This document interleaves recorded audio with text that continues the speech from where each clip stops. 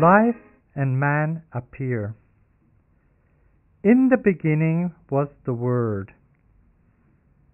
I am one of six billion souls evolved from the swirling soup of energies that formed twin universes. While our twin was evolving molecules, we were evolving thoughts, and we evolved all thoughts possible.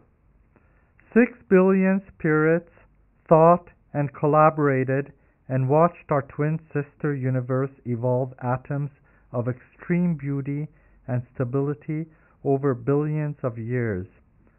We all thought how desirable it would be to experience such beauty and truth.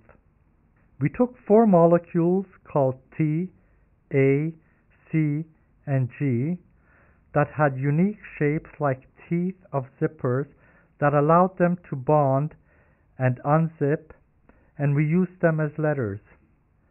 We chained these molecules to form words. Then we used these words to form sentences. Sentences formed instructions which coded how to use the chemicals around it to form more zippers and to copy itself. By unzipping into two halves and then attracting molecules to form a new partner with four letters and two words, TA and CG, we wrote the book of life called DNA. DNA wound up into a stable helix and was bound and protected by molecules that clumped around it. This grouping of molecules, controlled and regulated by the chain of sentences, were the first living cells. The slowly unwinding coil was like a book being slowly read.